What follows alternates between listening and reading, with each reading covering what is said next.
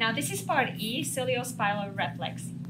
Pinch the skin on one side of the nape of the neck and note the dilation of the pupil on the same side. You actually have to press quite hard to see the response. So we won't be able to see that on the camera, but you can try it at home or just have somebody from your family to do it for you.